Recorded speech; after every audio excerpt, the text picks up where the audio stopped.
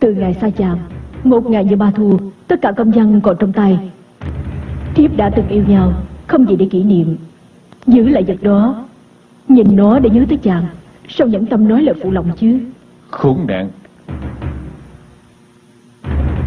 Phụ hoàng có công sẽ thưởng Kết giao thiên hạ hào kiệt. Sau này Trường An có biến Mong chàng nội hiệp ngoại ứng.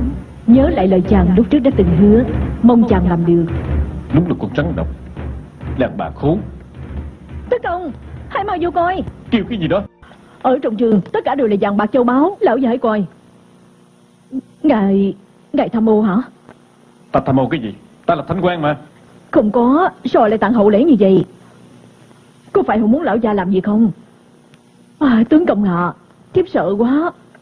À, Không cần Không cần sợ. Tướng công Thiếp theo chàng Không phải muốn đại phú đại quý Chỉ mong được bình an để sống cho qua ngày Không sao đâu. Mấy cái này không phải là cho ta Mà cho các xã nhân. Các xã nhân? Ờ. Vậy- Vậy chúng ta hãy mau trả lại cho hắn. Hãy niêm phong lại. Được. Người giỏi thiệt lão cát. Kỳ khai đã thắng, mã đáo thành công. Chỉ cần nhẹ nhàng để giúp cho trẫm an bài cái đám chư hầu. Hoàng thượng, cũng là nhân ngày danh cao đức trọng, Hoài Nam Dương, tâm rất khâm phục. Không phải trẫm phải thưởng thí cho khanh. Ờm Nè Nghĩ coi trẫm nên thưởng thí cái gì cho khanh? Ờ, ờ, không cần. Hoàng thượng, ngài đối với thần có thể nói là ân sâu như biển.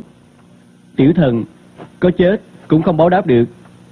Ờ, không cần thưởng cho thần nữa. Lão cát Ngươi đang làm gì đây? Ngươi tới Hoài Nam có một lần Hình như đã biến thành một người khác. Nói chuyện thì có văn chương quá ha. Cái gì là đức cao danh trọng? Cái gì là ơn sâu như biển? Đâu phải là bình thường người nói. Còn mở miệng ra thì cứ nói là thần là Không được không được không được. Mau sửa lại đi. Vậy, muốn tiểu thần sửa cái gì đây? Ở chỗ này không có người ngoài Kêu ta là cửu ca Ta kêu ngươi là lão cát Tiểu thần tuân chỉ. Nghĩ Cửu ca Ờ, ờ, cũ ca.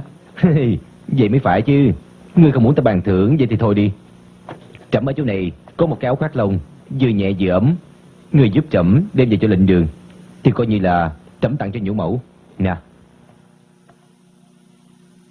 Cũ ca, lão cát. Lão cát không dám. Lão cát theo mặt gia mẫu, đa tạ hoàng thượng.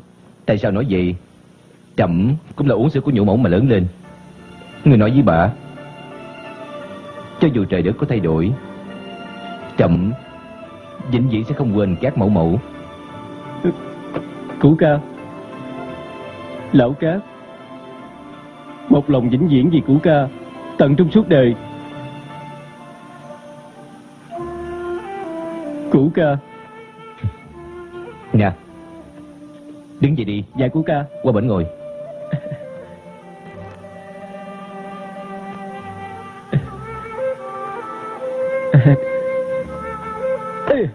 Cũ ca Xem chút là quên. Ngày nghỉ trên đường lão cát đã gặp ai? Hử? Là Đông Phương Sóc. Ông ở đâu? Bãi Lãnh Thủy. Tại sao lại không mời ông về đây? Ê, Thần có nói Thần đâu dám không mời chứ. Nhưng mà ông nói Bây giờ mỗi ngày quen với bắt cá nuôi gà Sống cuộc sống thanh nhàn. Hả? Ông nói không muốn về Trường An.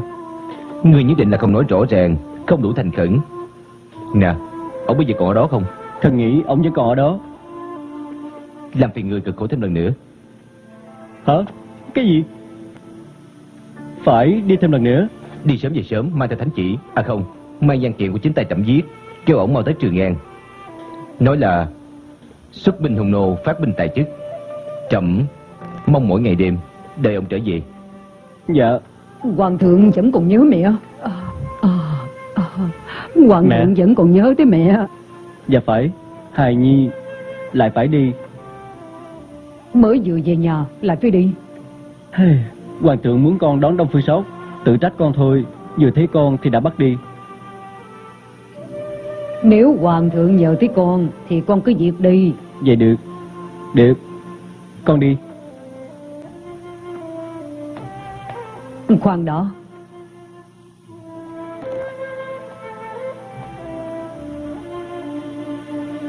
Con đi xa làm cho mẹ nhớ lắm.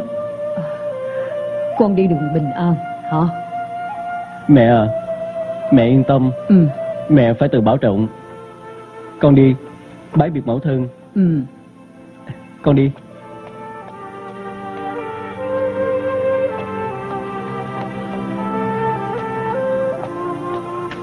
Xin hỏi Các xã đại nhân có đây không Đã ra khỏi nhà, có chuyện gì? Cái rừng này là các đại nhân đã đem từ Hoài Nam về đây Chúng tôi khi đến đây chồng Để bển được rồi. Dạ Cái thằng con này, đi gấp như vậy, không nói gì hết. Hung nô có động tình gì? Bẩm hoàng thượng Nhân mã của hung nô đã quy tụ đông đủ Tiểu kỵ binh về đây đang quấy nhiễu biên cương Lão tướng quân Theo quan lệ thì đây là điểm báo trước của tấn công Đại khái có bao nhiêu? 20 dạng Đoán là không dưới 10 dạng Quân của ta. Quân ta chỉ có 8 dạng. Chắc chưa hầu được phòng quốc Không nước nào điều động binh mã Chỉ có Hoài Nam Dương xuất ra hai dạng. Ngươi nghĩ phải làm sao? Đợi hay là không đợi? Hoài Nam đường xá xa xôi Nếu đợi họ đến e rằng không kịp. Ý của ngươi là? Ý của thần là binh quý thần tốc phải đánh họ trước. Phải đánh họ trước. Đúng vậy. Thần nhớ lại một điểm tích về chiến khí trước kia. Lâm Trần dụng binh phải qua ba hồi trống rồi mới ra quân Nhưng mà tàu quý tướng quân xuất chinh Nói là một trống hùng khí Hai hồi thoái, ba hồi thì chạy. Bây giờ quân ta chỉ có 8 dạng Nhưng mà sĩ khí của huynh đệ dân cao nóng lòng giết địch Thì cũng như hồi trống thứ nhất đang đánh lên. Được. Tám dạng thì tám dạng Xuất binh trong ngày. Tôi chỉ.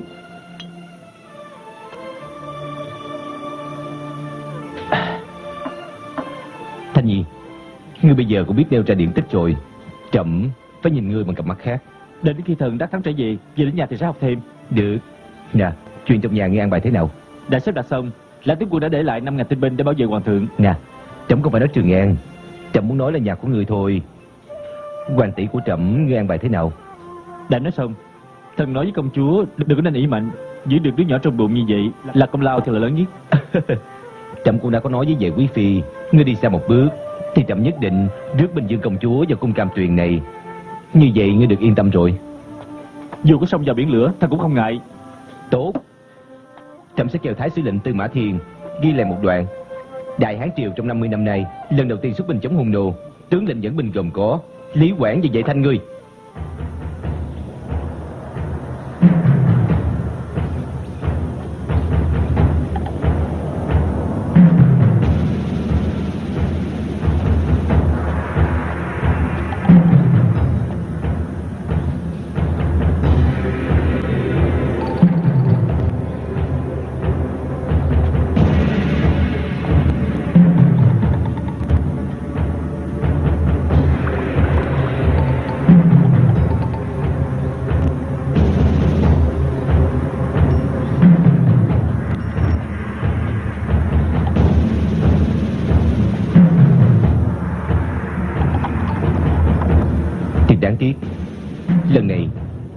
Ca không thể cùng với các ngươi ra trận Cửu ca chúc cho hai người thắng lợi. Cũ ca.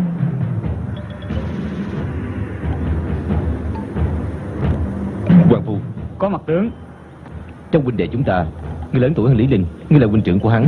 Cửu ca đem Lý Linh giao lại cho ngươi Nếu như mà hắn có chuyện gì Chậm hỏi tội của ngươi Cựu ca yên tâm. Chỉ cần có quan phu này Thì sẽ có Lý Linh. Cũ ca Có Lý Linh ở đây thì có quan phu. Ta muốn hai người đều ở đây Các ngươi phải dương ra oai phong của huynh đệ chúng ta. Được. Được. Đi ra đi ra mau. Mau. Đi ra. Khứ bệnh Ngươi không tuân quân lệnh hả? Cẩn phụng à cho tụi cháu đi đi. Cháu tình cậu cho tụi cháu đi. Cho cha tụi cháu đi. Kìa Đừng có ồn nữa. Bây giờ đánh giặc là liều chết. Hoàng thượng có chỉ hai nữ binh không ai được đi hết. Không ai được đi. Cậu nói hả? Ta nói. Nếu bên trong đó còn một người Không thể nào. Cần cháu bắt nó ra đây không? Nè nè Các ngươi đang ồn ào gì đây hoàng thượng sao lại không cho chúng tôi đi. Chỉ có con có tướng quân là đi được. Có hay sao? Đương nhiên có. Ra đây mau lên. Ra đây ra đây. Các người hãy coi nè. Tôi đi. Tôi 16 tuổi nó còn nhỏ tuổi hơn tôi mà. Tên nhóc này Dám so với ta tao 18 tuổi rồi Ngày không có rau ta nghĩ người 15 tuổi thôi Tôi ra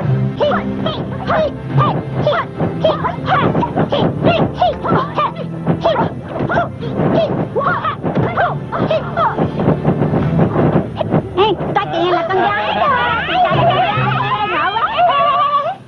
Thu điểm Thu điện bái kiến hoàng thượng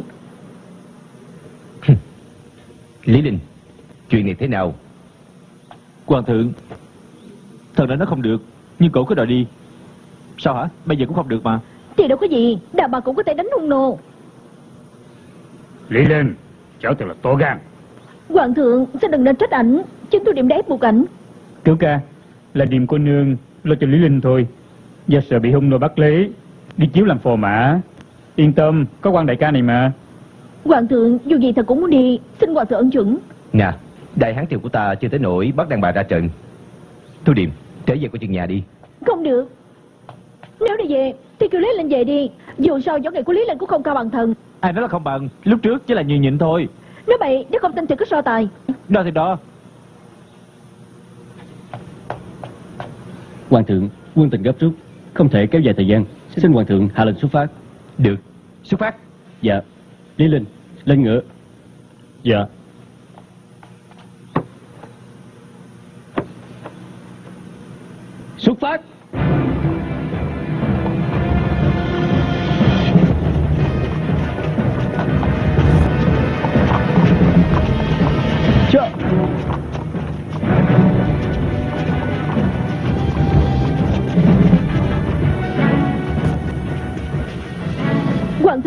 thượng Ngạn giúp thần.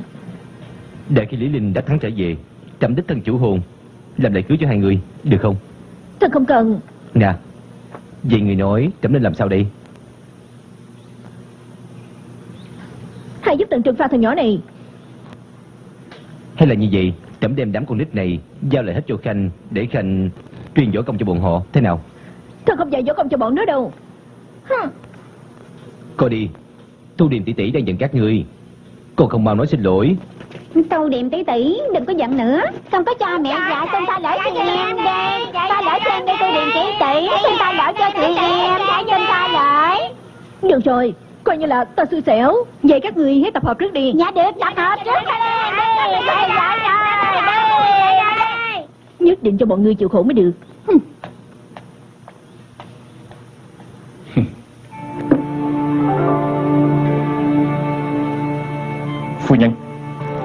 Vì nghĩa là sao? Ta không uống rượu mà. Rượu ngày hôm nay chàng nhất định phải uống. Tại sao vậy? Chàng không nhớ. Một năm trước Ở Diên Chi Chàng đã đóng quẻ đầu tiên cho thiếp. Ngày hôm đó là ngày mình quen biết. Được Ly rượu này ta sẽ uống. Không cần phải gấp. Còn có ly thứ hai. Hả? Còn chuyện gì nữa đây? Là tiễn hành chàng Phu nhân. Phu nhân thật tình Cho ta đi hay sao? Thiếp giữ được con người chàng Nhưng không có giữ được tâm. Suốt trong những ngày qua Chỉ biết than thở Trong mà suy nghĩ. Lòng của chàng Đã bày ra dạng lý từ lâu. Người sinh ra ta Là cha mẹ của ta. Người biết ta Là phu nhân. Nói thật ra Đời người chỉ cần có một tri kỷ Năm phương sóc này Không còn gì để hối hận. Uống xong ly rượu này Chàng cũng nên lên đường. Chỉ là ta Lo lắng cho phu nhân thôi. Có gì để lo lắng? Giữa thiếp với chàng Gần nhau được Thì xa nhau cũng được. Nhưng nữ thường tình không đáng để ý. Tánh của chàng Không thuộc về gia thất Mà thuộc về thiên hạ Nếu thiếp giữ chàng ở lại Thì thiếp quá ích kỷ. Tạ ơn phu nhân. Sau khi chàng đi Thiếp sẽ ẩn thân tại chỗ này Không lộ ra ngoài. Lỡ có chuyện gì bất trắc Thiếp cũng sẽ tự bảo vệ cho mình. Mỗi một người đều có lý tưởng riêng. Đông Phương Chàng là lý tưởng của thiếp Nè Chàng hãy làm cái chàng muốn làm. Đa tạ phu nhân. Nhanh lên, nhanh lên. Mau lên chút đi, mau lên. Xin hỏi Đông Phương Tiên Sinh có phải ở đây không? Mời vào. Ngoài Nam quận chúa Bài kiến Đông Phương Tiên Sinh Ồ là quận chúa Không kịp nghênh tiếp. Vị này là sư mẫu phải không? Sư mẫu đẹp tới như vậy Làm Lý Linh cảm thấy mình thiệt xa cách quá. Hèn nào hoàng thượng bệ hạ Đã vì sư mẫu mà mất hồn mất vía Không cần tới giang sơn Chỉ cần bỉ nhân. Quận chúa đã quá khen Quận chúa đến đây là đi ngang qua. Không phải Ta phụng lệnh của phụ hoàng Tới để thỉnh Đông Phương Tiên Sinh hạ sơn. Đông Phương Sóc là người của giang hồ Cũng nên ở lại với giang hồ thì hơn. Lúc ta tới đây đã cùng phụ dương lập ra quân lệnh trạng. Nếu không mời được Đông Phương Tiên Sinh Thì ta không còn mặt mũi gì để trở về gặp phụ hoàng. Chỉ còn cách là ở lại bên tiên sinh Để bái sư học nghệ. Không có đạo lý như vậy. Tôi muốn hỏi quận chúa Hoài Nam Dương thật ra mời tôi đến Có điều gì dạy bảo? Thánh chỉ của hoàng thượng Hoài Nam quân hai vạn nhân mã Phải tới Trường An hỗ trợ cho hoàng đế diễn kinh hung nô. Phụ hoàng suy đi nghĩ lại Chỉ có Đông Phương Tiên Sinh mới thích hợp lòng quân sư cho chúng tôi Đây là triều đình đại sự. Ta nghĩ Đông Phương Tiên Sinh chắc sẽ không từ chối. Quận chúa Quận chúa còn nhớ Đã cùng tôi bói một quẻ hay không? Còn nhớ. Ta tâm phục khẩu phục. Quận chúa chắc không quên Tôi từng nói hai câu với quận chúa. Quýt ở Hoài Nam Quýt ở Hoài Bắc thì lại là chua. Tiên sinh có nói qua như vậy? À, Tôi chưa có đến Hoài Nam. Tôi e rằng Cứ đi như vậy Thì quýt cũng sẽ đổi mùi. Phụ hoàng có nói qua Bất luận tiên sinh sẽ trở ra mùi vị gì Phụ hoàng cũng đặt tiên sinh vào Mùi vị ngon ngọt nhất.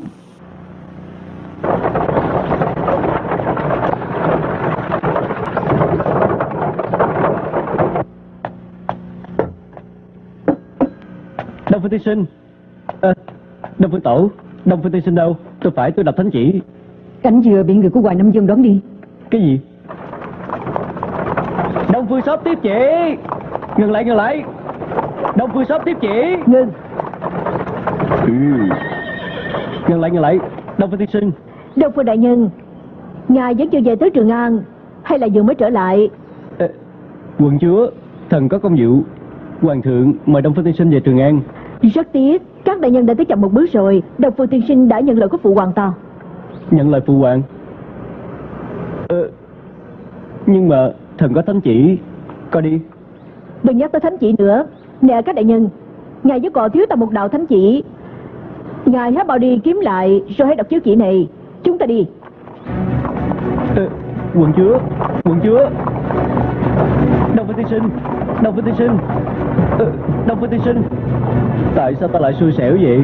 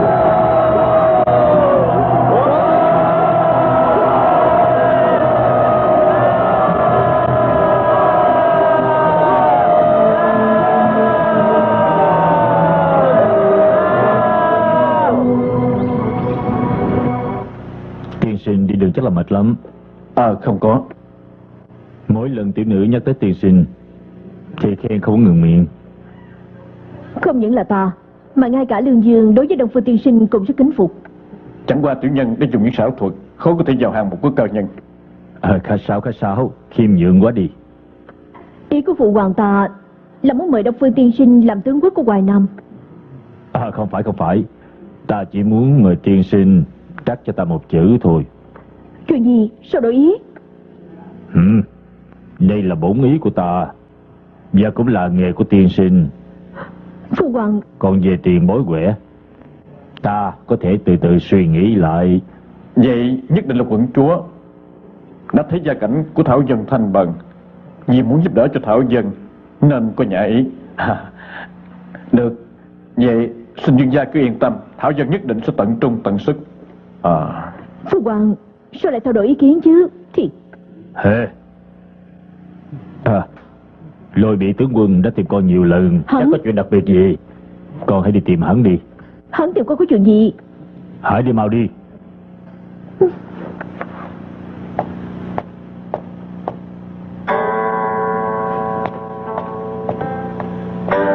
Ta muốn hỏi tiên sinh một điều. Dạ khoan đã. Quy lệ trắc chữ của thần trước hết. Hãy viết ra một chữ rồi mới có thể hỏi được. Ủa? Chuyện hắn vào đây Tham kiến chuyên gia. Ngươi hãy tự viết một chữ đi. Viết chữ gì? À tùy ý. Vậy được. Chữ này có được không? Linh. Muốn hỏi chuyện gì? Hỏi về hôn nhân? Chỉ là một tiểu binh chốt nhỏ. Ngay cả ngũ tướng cũng chưa làm tới. Thì đã lo nghĩ về chuyện hôn nhân. Vậy làm sao mà làm lên được à, nghĩ chưa chắc. Chưa chắc. Cái gì chưa chắc hả? Hôn sự của nhân huynh Thì sớm đã được thành tựu rồi. Tại sao vẫn chưa có nói ra? Nhìn vào đâu mà thấy được? Chữ Linh. Thượng ngôn đạo Chữ bát thiếu một phết. Nhưng mà Hãy coi đi. Chữ Linh này đã có chữ bát nằm trong Đã chờ đợi lâu rồi. Vậy ý cô tiên sinh muốn nói là Chúng tôi nên sớm thành hôn. Tôi cũng nghĩ như vậy Nhưng trái chín cây còn chờ ở trên cành chưa rụng Là lý do sao? Tôi Tôi không biết nói sao. Ha, Huynh đệ không cần phải gấp. Tôi sẽ từ từ giải thích cho Huynh nghe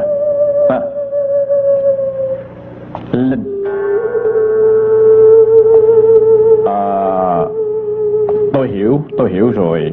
Được rồi, được rồi, hãy coi. Chữ thổ này có thổ thì nhất định cây lá sẽ xanh. Đó là chuyện tốt lành rồi. Nhưng mà chỉ là chữ mặt phía dưới thì không có tốt Bởi vì đó là phản văn. À, à tiên sinh Phản dân thì sao hả? À, người cứ lòng phản, tức là phản nghịch, chữ của phản văn, tức là có vấn đề. Hả? E rằng nguyện vọng của huynh đệ đây sẽ bị phản đối.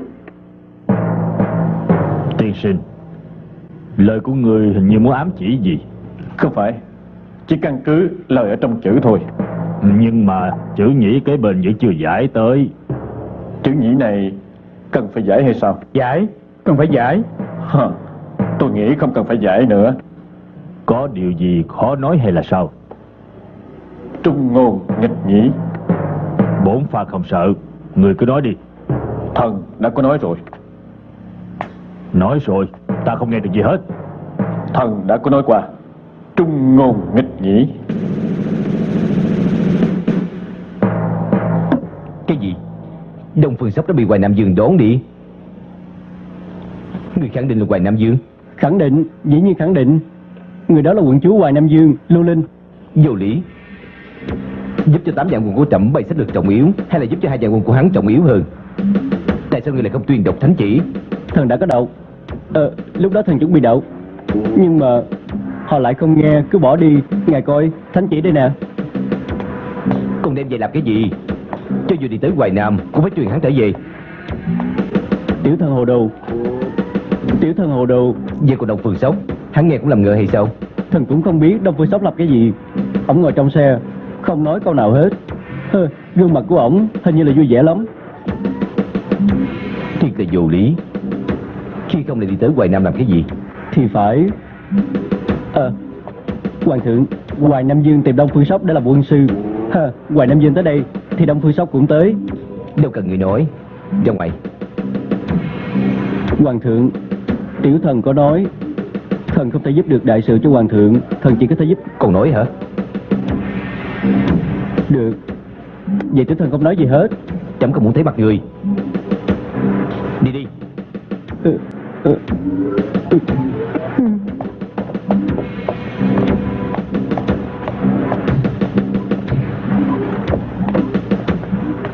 thượng, muốn điều binh của Hoài Nam Bắc Thượng, Để trợ giúp cho lực lượng của Lý Quảng. Vậy có phải sẽ đi ngang Trường An? Trường An là con đường phải đi qua. Thế nào? Thần nhận thấy không có điều binh thì tốt hơn. Họ tự nguyện đi đánh hung nô.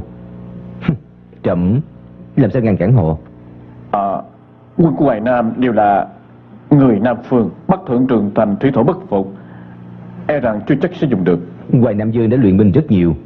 Các tướng sĩ đều mong muốn đánh giặc. Tại sao trẫm lại khiến cho họ thất vọng chứ? Nè Đã quyết định rồi Không cần nói thêm nữa. Phu Hoàng Đông Phương Sóc có linh hay không?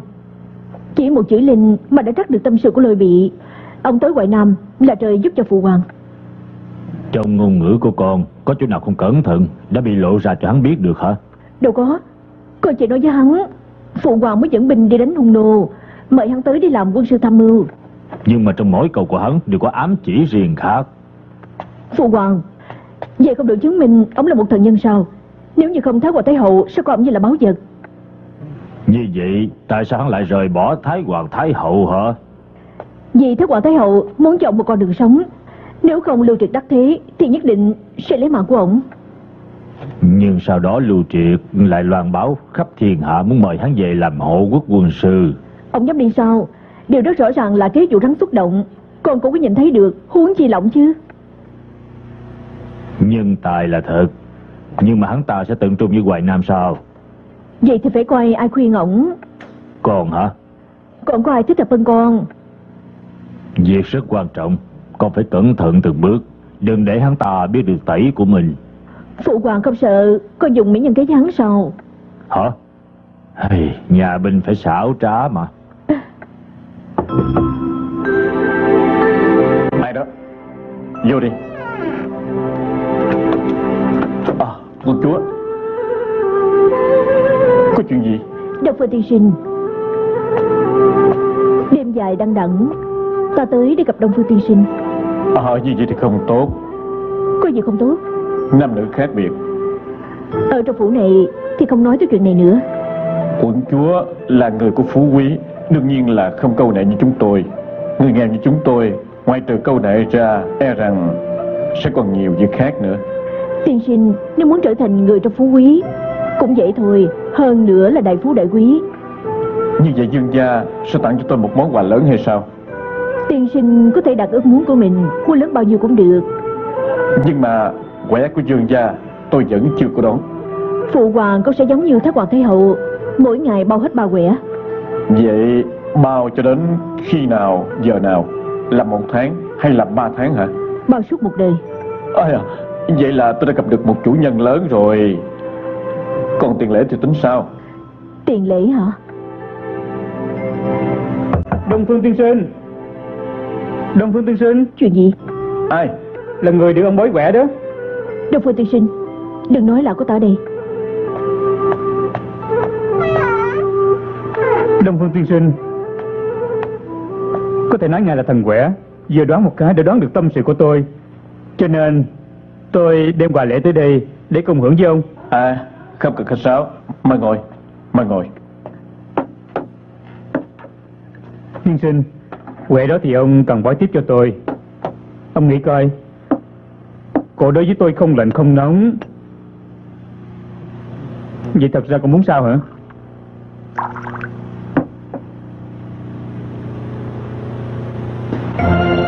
Tiếp tục.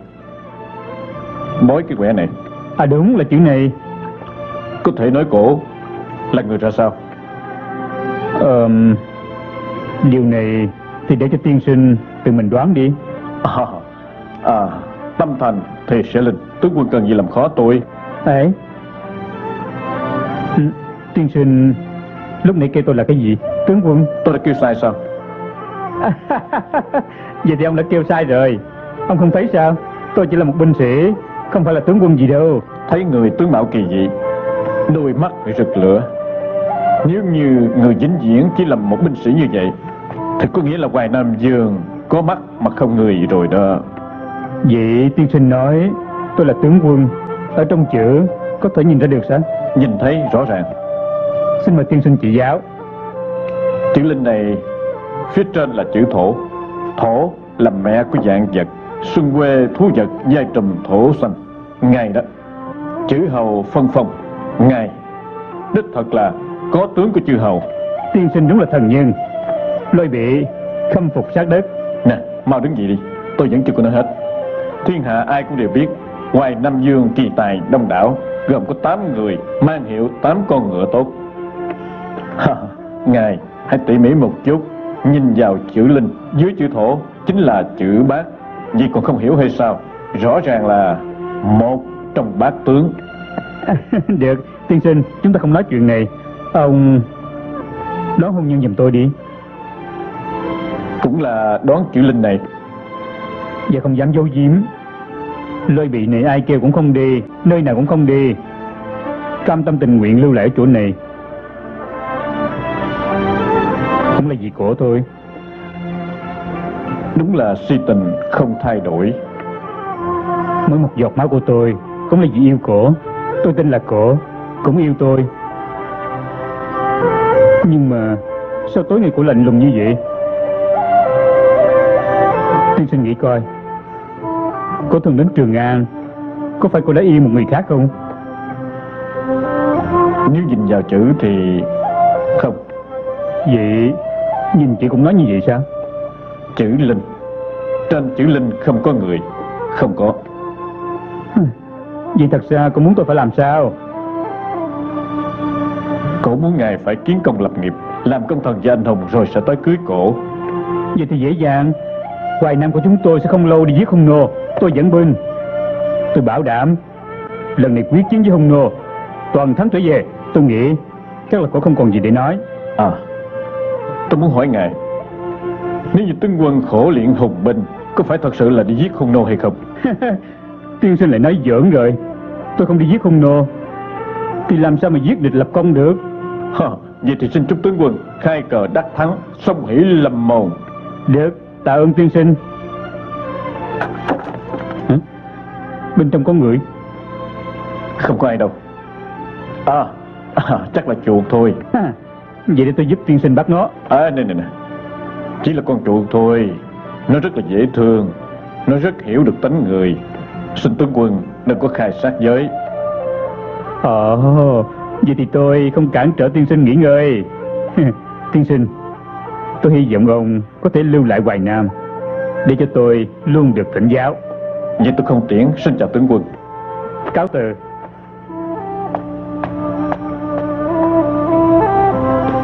Con chuột nhỏ Ra đây đi.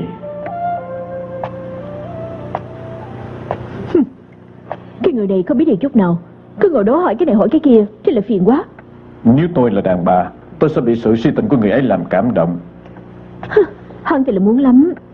Đừng làm cho hắn ta quá đau lòng. Hắn chỉ là một tên mã phu Chỉ thích đập ra trận đánh giặc Không biết suy nghĩ gì hết. Hệ, đã là con người Đều có duyên số Cô đừng có nên quá tự cao. Hắn tưởng là quân Hoài Nam công đánh hung nô Là đi tưởng tới chết hay sao? Vậy dương gia chuẩn bị quân. Thật ra muốn đi đánh ai hả? Về chuyện này Thì coi như là quẻ thứ ba của tiên sinh. Tiên sinh hãy tự mình suy nghĩ đi. Đông Phương tiên sinh. Ờ Quần chúa. Sao cô ở đây? Ở đây thì sao? Cô đến từ lúc nào? Hừ, Không tới phiền người quản lý ta. Cô. Quần chúa Quần chúa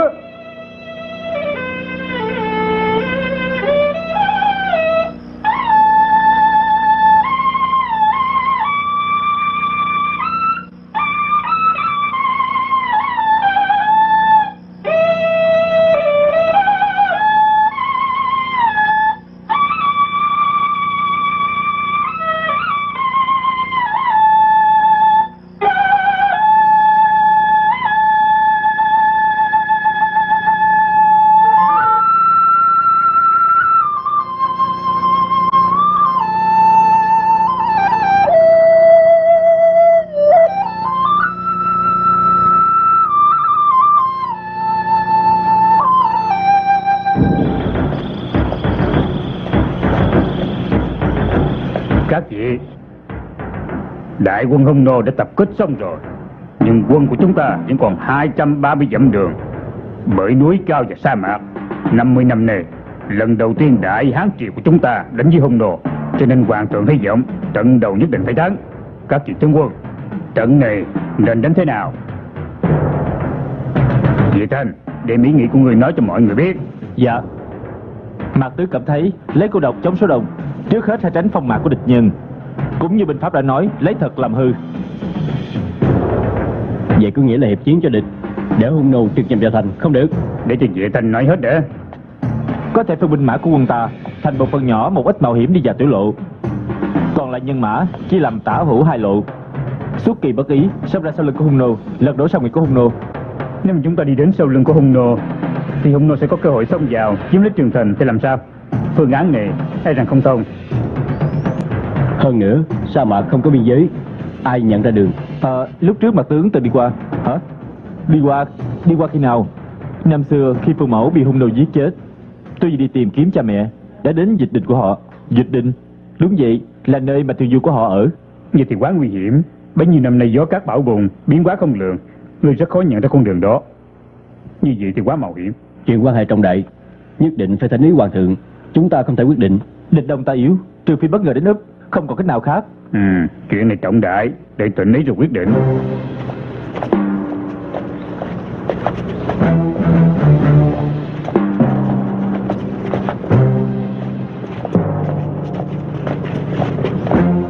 Chà, chà.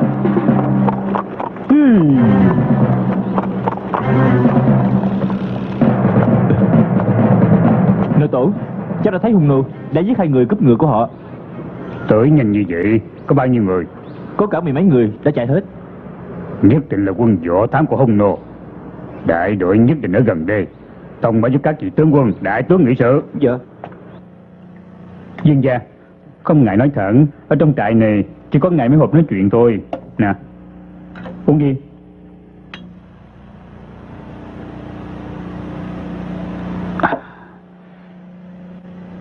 Nói là mạc tướng chỉ trích ngài lúc đầu đã làm ra mấy cái chuyện đó chịu đựng cho tới bây giờ sống ở nơi băng giá lạnh lẽo. Hừ, có đáng hay không? Tướng quân nói cũng đúng. Hừ, có hối hận cũng vô ích. Đừng có nghĩ như vậy.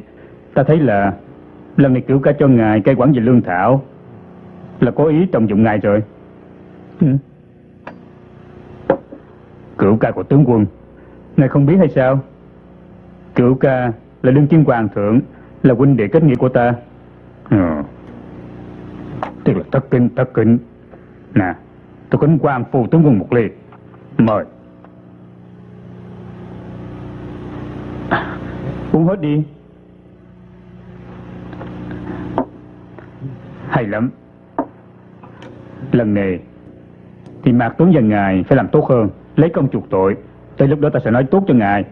Ta tình ta tin đó đến lúc chúng ta thành công trở về, ai nấy đều ăn mừng chiến thắng. Tướng quân nhất định sẽ bước lên cao một bước. Chỉ cần đừng có xảy ra chuyện, đánh bại được hung nô thì cái gì cũng làm ra được hết. Có vấn đề gì, ta lo là lão tướng quân sẽ hành sự theo phương cách của vệ thanh. Vệ thanh? Là người xuất thân từ mã phô hắn có thần cơ dự đoán gì? Không phải là hắn có thần cơ dự đoán gì, nhưng mà hắn rất là có can đảm hắn muốn dòng ra hậu phương của hung nô để lật đổ doanh trại của họ. Thật ra đâu có thể nào đâu phải là chuyện dễ. Quan phu chuyện gì? Còn rượu mọi người đã đổ mạc còn thiếu mình anh thôi. Cái gì? Thiếu một mình ta?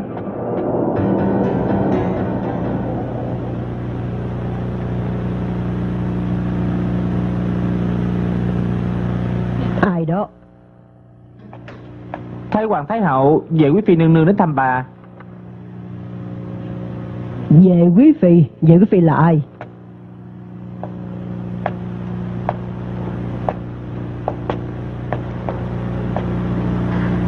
Nhi thần dạy chỉ phu thăm kiến Thái Hoàng Thái Hậu.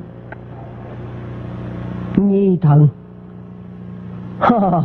Ta nhớ lúc trước Về chỉ phụ xưng mình là nô tỳ. Ta chỉ thích nghe hai chữ nô tỳ thôi. Nếu như Thái Hoàng Thái Hậu thích nghe hai chữ nô tỳ Vậy thần tự xưng là nô tỳ Người dám nói như vậy Nhưng ta không dám nghe. Bây giờ người đã là quý nhân. Nè nè Qua đây. Thái Hoàng Thái Hậu đang sỏi kim mà. Hãy để nô tỳ giúp ngài. Không dám làm phiền tới đại gia. Hoàng thượng có khỏe hay không? Hoàng thượng vẫn khỏe. Hoàng thượng cho nô tỳ đem qua quả tươi tới Cho Thái Hoàng Thái Hậu dùng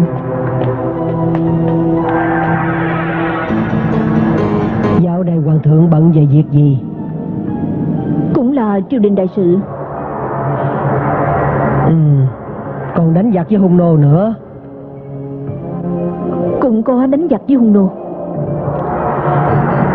Trận chiến thế nào? Nô tỳ không nghe hoàng thượng nhắc tới. Hừ, Vậy là không có gì tiến triển. Tánh tình của hoàng thượng ta biết rõ nhất. Nếu thật đã thấy trận Thì đã sớm nói ra cho tất cả mọi người biết được. Và người đầu tiên sẽ nói cho biết là người. Tại sao người đầu tiên sẽ nói cho nô tỳ biết? Em trai của người đã ra trận rồi. Hoàng thượng sợ người lo lắng. Người chỉ có một người thân thôi. Người không lo hay sao? Chị phụ lúc trước chỉ có một người thân. Bây giờ hoàng thượng Hoàng Thái Hậu Còn có Thái Hoàng Thái Hậu Cũng đều là người thân của chị phụ Nói nghe hay lắm. Ai cũng biết được Hung nô không dễ dàng đối phó. Họ đã lớn lên ở trên lưng ngựa. Không phải giống như chỉ một đậu hoài Dễ đối phó như vậy. Nô tỳ biết được. Vậy Thanh cũng biết được. Hãy đốt nhang nhiều một chút. Để trời phù hộ Cho em trai của người được bình an dù có chết, Thì cũng được toàn xác. Nếu không, Ngay cả hắn chết ở nơi nào, Người cũng không biết.